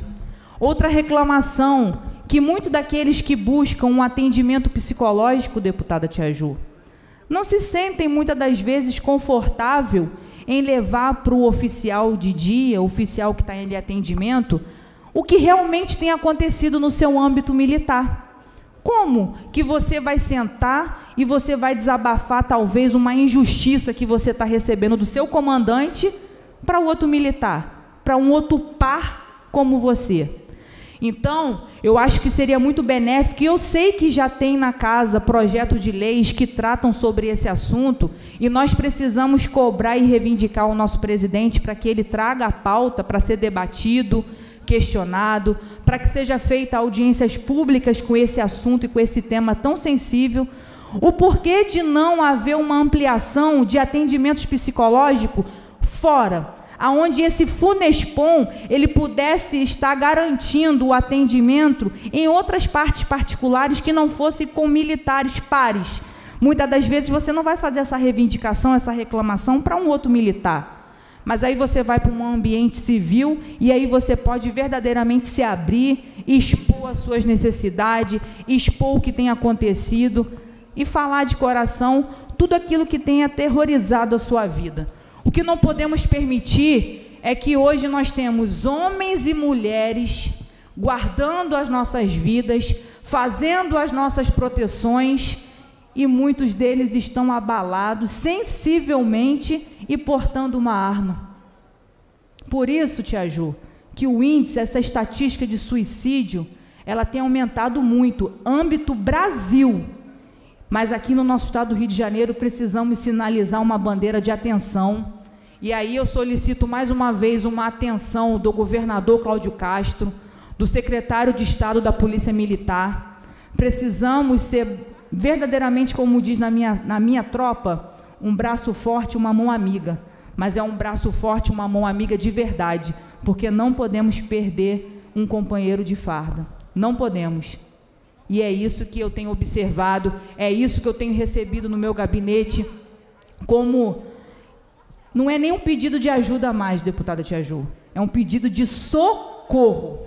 E eu falo isso com muita sensibilidade no meu coração, porque eu, como militar das Forças Armadas do Exército, quantas vezes eu precisei sair de casa quatro e meia da manhã, deputada Tia Ju, para ir trabalhar, e como paraquedista participando várias vezes de intervenções, escondendo identidade, escondendo farda, escondendo muitas das vezes e podendo me orgulhar de ser militar, o medo de ser pego e acontecer alguma coisa.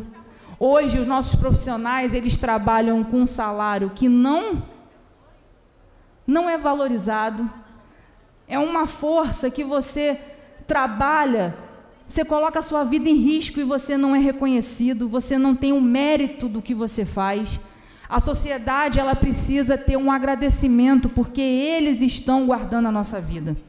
Muitas das vezes encontramos aqui parlamentares de esquerda que atacam, que falam dos policiais, infelizmente, mas na hora que o calo aperta, são os nossos policiais que são acionados. Então, eu quero acionar esse parlamento solicitar que possamos trazer essa pauta para o plenário. Precisamos debater esse assunto tão sensível. Eu estou trazendo hoje dentro do âmbito da Polícia Militar, mas sabemos que hoje o índice de depressão tem aumentado muito em várias esferas, seja na nossa juventude, seja em todos os universos. É um tema muito sensível, precisamos debater, dialogar e buscar a melhor forma possível de poder estar beneficiando, ajudando, socorrendo os nossos policiais militares. É por isso que eu estou aqui e faço uso da palavra para tentar de alguma forma sensibilizar todos vocês e vamos sim pautar, deputada, vamos pautar um tema tão importante como esse para ajudar a salvar a vida do policial militar. Obrigado, presidente.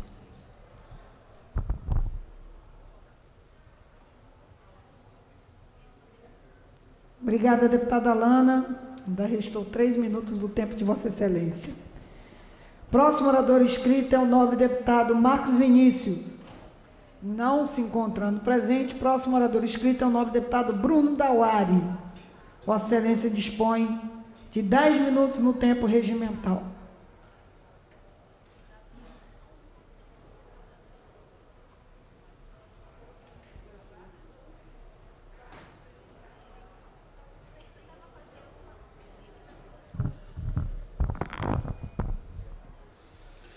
Senhora presidente, senhoras e senhores que nos acompanham pela TV Alerge, quero fazer uma saudação à nossa querida presidente, deputada Tia Ju.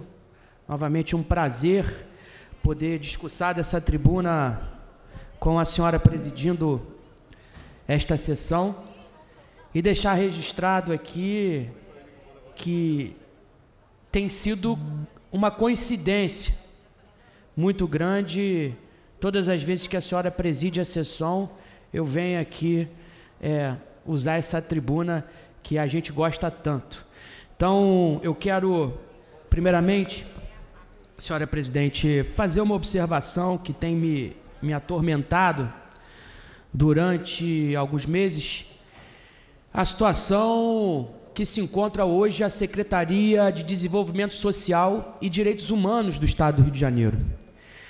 Eu, pela tarde de hoje, assisti uma matéria, a matéria da TV Globo, em relação à reabertura dos restaurantes populares no estado do Rio de Janeiro e tratando especificamente de um restaurante popular, inclusive restaurante esse que nós deixamos, enquanto secretário, tudo pactuado, tudo pronto, para que pudesse ser reaberto o mais rápido possível.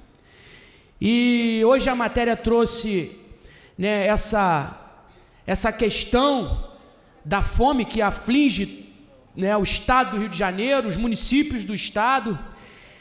E me chamou muito a atenção a inércia do atual secretário de Desenvolvimento Social e Direitos Humanos diante a tantos descasos que vem ocorrendo durante esses seis meses de gestão na Secretaria de Desenvolvimento Social e Direitos Humanos do Estado. Primeiro, falar dos abrigos, sem entrar ainda na questão dos restaurantes populares. Abrigos descobertos de convênio, abrigos que correm risco de terem a sua comida paralisada, porque só não pararam ainda porque estão usando os benefícios dessas pessoas que estão lá. Eu quero aqui registrar a situação do abrigo Cristo Redentor. Quero aqui falar da situação do abrigo de Araruama. Quero falar da situação trágica também do abrigo de Conceição de Macabu, o abrigo Rego Barros, né? Está funcionando hoje sob uma emergencial de uma instituição, uma empresa que sequer tem qualquer qualificação técnica conhecida, entendeu? Antes estava sendo gerida pela PAI. E infelizmente, senhora presidente, nós estamos assistindo um desmonte da agenda social, inclusive a agenda social essa que o governador tem tanto falado, tanto orientado, porque enquanto secretário de Desenvolvimento Social e Direitos Humanos, uma das suas principais preocupações e bandeiras era a empatia, a humanidade com aqueles que mais precisam do poder público, e foi assim que nós administramos durante seis meses aquela secretaria, com muito amor, com muita dedicação, com muita empatia, mas, sobretudo, com o pé no chão, com uma equipe técnica que não tem interferência, não teve interferência política alguma, e foi por isso que deu certo, e ao contrário do que acontece hoje. Eu quero falar aqui que hoje o SUAS, a subsecretaria que está o SUAS, está ocorrendo um desmonte que vai acabar inviabilizando a Secretaria de Direitos Humanos, que vai acabar terminando de vez com qualquer esperança do povo pobre do estado do Rio de Janeiro, do povo da população em vulnerabilidade social desse estado. Não é possível que se aglutine coordenações, senhora presidente. Não é possível que cortem salários, senhora presidente, de um corpo técnico que é o coração daquela secretaria. E eu não quero aqui é, entrar nos pormenores das perseguições políticas que têm acontecido naquela secretaria, porque seria aqui algo muito estranho eu usar essa tribuna para falar que estou sendo perseguido, mesmo sendo da base do governo. Mas isso não importa. Eu não importo a perseguição, eu estou aqui usando essa tribuna, tribuna essa que eu tenho certeza que muito daqueles que estão sendo injustiçados nesse momento queriam estar ocupando. Então eu tenho esta prerrogativa de trazer a esta casa, senhora presidente, este problema grave que ocorre na Secretaria de Desenvolvimento Social e Direitos Humanos do Estado. Deixamos, e aí quero me dirigir aqui ao senhor secretário de Desenvolvimento Social e Direitos Humanos, deixamos pactuados com a Secretaria de Fazenda os restos a pagar, restos a pagar que não foram pagos durante o governo Pezão que serviria para os municípios desse estado desafogarem os seus problemas. Conseguimos tratar com a Secretaria de Fazenda, com a Procuradoria Geral do Estado, para que esse recurso fosse transformado em benefício eventual para que pudesse ser comprado cesta básica. Mas, infelizmente, senhora presidente, até hoje nada foi feito, senhora presidente. Até hoje os municípios não receberam um centavo sequer. Eu não posso, senhora presidente, sendo da base do governo, conhecendo as orientações do líder Cláudio Castro, conhecendo as orientações daqueles que o acompanham, aceitar que em seis meses de gestão não se tenha reaberto um restaurante popular sequer. Nós, senhora presidente, sem aqui qualquer título de comparação, em três meses de gestão, o povo pobre de Caxias que não tinha que comer estava comendo a um real em Caxias. O povo pobre de Campos não, que não tinha o que comer estava comendo a um real na cidade de Campos. E tínhamos uma agenda social programada, organizada para as pessoas em vulnerabilidade desse Estado. Infelizmente, já se passaram seis meses e o que nós vemos são questões que a gente não consegue compreender, tamanha incompetência. Eu não posso, senhora presidente, deixar de citar aqui os CCDCs fechados, instrumentos importantes de promoção da autonomia do cidadão, um instrumento importante do Estado do Rio de Janeiro para aqueles que têm, que possuem a necessidade do poder público. Na minha cidade, senhora presidente, cidade de Campos dos Goitacazes, um dos maiores CCDCs do Estado, com mais de 1.500 atendimentos mensais. CCDC está fechado. A população tem batido a porta do CCDC de Campos e não tem encontrado ninguém, senhora presidente. Não é possível que esta casa aceite calada o desmonte das políticas públicas da Secretaria de Desenvolvimento Social e Direitos Humanos. E eu ocupo essa tribuna hoje, senhora presidente, para fazer essa crítica construtiva, porque a gente espera que o secretário e a sua equipe acerte. Era para que o governador Cláudio Castro, que defende a bandeira da fome, que defende a bandeira do combate à miséria, não seja prejudicado. Porque quando o secretário e sua equipe passam a perseguir os deputados da base, quando o secretário e sua equipe não passam a resolver os problemas da fome desse Estado, quando o secretário e sua equipe não cumprem o que tratam, senhora presidente, é o governo que está sofrendo e é o governo que eu defendo nesta casa e é por isso que eu estou ocupando essa tribuna hoje, para evitar que no ano que vem, quando a gente chegar em abril, quando a gente chegar em junho, quando a gente chegar em julho, aqueles 20 restaurantes populares prometidos, que a gente não sabe se vai ser entregue, a gente torce que seja entregue porque o povo precisa. Mas imagina se não for entregue, senhora presidente. Como vai ficar os deputados que defendem esse governo? Como ficará o governador do estado que tem na, numa das suas principais bandeiras o combate à fome? Está no RJTV de hoje. Não é possível que ninguém esteja enxergando, senhora presidente, esse desmonte das políticas públicas. Um hotel, senhora presidente, aqui na capital do estado, quando nós temos um hotel que eles chamam hotel acolhedor, que não consegue atender a demanda, porque a demanda é muito maior, senhora presidente. Nós temos municípios como Niterói, São Gonçalo, outros municípios sobrecarregados com a população de rua. E a gente deixou um projeto magnífico da primeira casa para ser implementado, senhora presidente, e até hoje nada, senhora presidente. Eu não quero aqui dizer que há perseguições com os projetos deixados pela nossa gestão, senhora presidente. Não quero imaginar que alguém do governo possa ter essa cabeça. Eu quero sim que eles aproveitem a casa organizada que a gente deixou. Que eles aproveitem, senhora presidente, os acordos que nós deixamos, eu quero que eles aproveitem, senhora presidente, todos os benefícios que nós deixamos nesses seis meses para a população do estado do Rio de Janeiro. Para concluir. Para as minorias, concluindo, senhora presidente, para as minorias, para os idosos, que até hoje, senhora presidente, pasme, e já para concluir, não recebeu sequer a presença do secretário de Direitos Humanos, de Desenvolvimento Social e Direitos Humanos do Estado, o Abrigo Cristo Redentor. Há 11 anos o abrigo não recebia uma intervenção de obra. Aqueles senhores e senhoras acolhidos ali não tinham ar condicionado, não tinham uma sala de fisioterapia e nós deixamos pronto com outros projetos para trazer mais qualidade de vida. Mas quem não bota o pé na rua, quem não pisa, quem não olha, quem não aperta a mão, quem não abraça o idoso, não vai sentir na pele o que, que o idoso está sofrendo nos abrigos, que os acolhidos estão sofrendo nos abrigos, mas está aqui. Eu visitarei abrigo por abrigo. Farei questão de mostrar nas minhas redes sociais esse desmonte que acontece.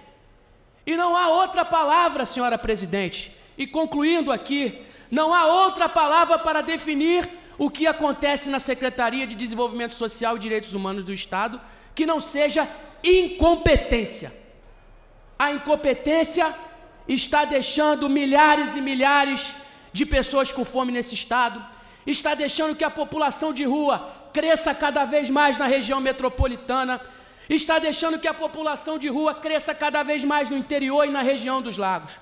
Nós precisamos de um Estado por inteiro, nós precisamos de uma secretaria por inteira, e é por isso que eu estou aqui hoje para defender esse governo, mas fazer essa crítica construtiva para que as coisas voltem ao rumo certo, para que a população que mais precisa do poder público volte a ser atendida. Meu muito obrigado, senhora presidente, essas são as minhas palavras no dia de hoje.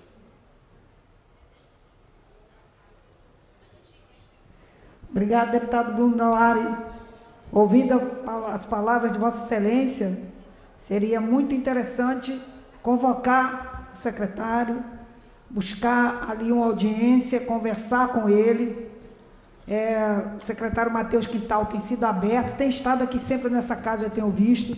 Então, acho que vale aí uma provocação, uma conversa, solicitar uma agenda de encontro ou a vinda ao gabinete de Vossa Excelência para acertar essas Hum, questões. Não, senhora presidente, eu, eu, eu queria aproveitar, até agradecer a intervenção de Vossa Excelência, mas a convocação que nós pretendemos fazer não é para o meu gabinete, é para a comissão específica da casa, para que ele possa aqui traçar um cronograma com, com a gente, para que ele possa aqui explicar quais são as ações que ele tem realizado na Secretaria de Desenvolvimento Social e Direitos Humanos. E eu falo isso com propriedade, estive lá durante seis meses. Sei bem o que foi deixado. Nós falamos da assistência. A senhora foi secretária de assistência, sabe muito bem, teve uma excelente gestão, sabe como essa população precisa de uma gestão humana, com empatia, com uma gestão. Então, eu queria agradecer a senhora. Nós já estamos, inclusive, é, enviando à secretaria diversos pedidos de informação para que a gente possa ter isso documentado de forma pública e, com certeza, eu agradeço a intervenção de Vossa Excelência, mas a convocação que a gente espera do secretário é para a Comissão de Direitos Humanos, é para outras comissões temáticas que tratam desse tema que a gente abordou aqui. Então eu acho que vai ser de grande valia que o secretário possa vir aqui explicar esse desmonte do SUAS, essa redução de salário desses técnicos, que ele possa vir aqui explicar porque ainda, em seis meses de gestão, não foi aberto sequer um restaurante popular, então, eu acho que isso é importante. A agenda social do governo, a agenda social do Estado do Rio de Janeiro, precisa ser posta para fora. E aqui é o nosso compromisso como parlamentar, como cidadão, fazer com que isso seja posto para fora. A gente quer que dê certo, a gente torce para que dê certo. E foi desde o início assim a minha, a minha atitude, o meu posicionamento junto da secretaria. Então, eu torço para que tudo dê certo, mas a convocação não é para o gabinete do deputado Bruno, não é para o gabinete A, para o gabinete C, tem que ser para a comissão que trata do tema. Muito obrigado, senhora presidente. É válido, deputado Bruno Dauari, é prerrogativa do, do deputado, é prerrogativa das comissões da casa. Tenho certeza que o secretário Matheus Quintal não irá se opor a estar presente, prestando os esclarecimentos devidos. Próximo orador inscrito é a nobre deputada Célia Jordão. Não se fazendo presente e não havendo mais oradores inscritos, declaro encerrada a presente sessão.